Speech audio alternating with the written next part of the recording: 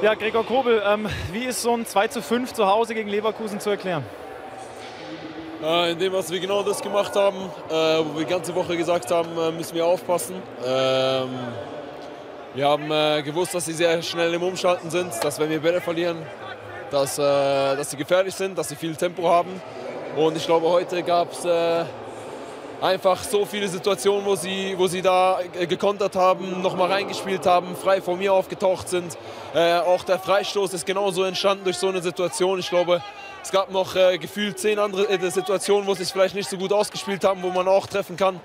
Das ist äh, ja, einfach in dem Ding genau zu wenig gewesen. Genau das, was wir die ganze Woche auch gesagt haben, auf das müssen wir aufpassen. Aber wie kann sowas passieren? Ich meine, jetzt äh, Marco Rose hat auch gesagt, jetzt, ich, wir hatten mal zwei Wochen Zeit, wir konnten trainieren, wir haben an Zweikämpfen gearbeitet, Ja, natürlich. wir haben an allem gearbeitet. Ja. Und dann macht man so ein Spiel. Das ist frustrierend, oder? Ja, natürlich ist es frustrierend. Äh, ich, äh, ja, was soll ich da sagen? Ich stehe hinten drin.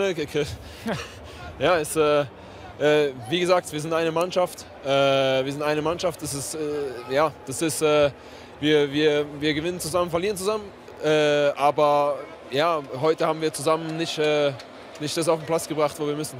Aber was ist jetzt wichtig in der Aufarbeitung? Also diese, so, solche Situationen gab es ja jetzt diese Saison auch schon öfter, dass man wieder gesagt hat, ja, wir sind eigentlich gut dran und wir sind gut drauf, wir haben gut trainiert, alles ist top und dann kommt so eine Leistung.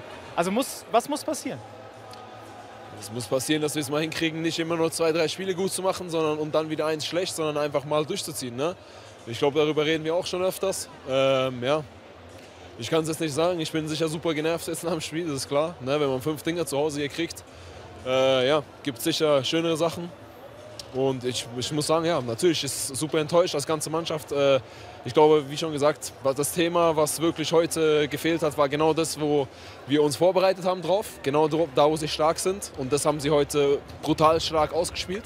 Sie waren gefährlich, sind immer wieder gefährliche Situationen gekommen.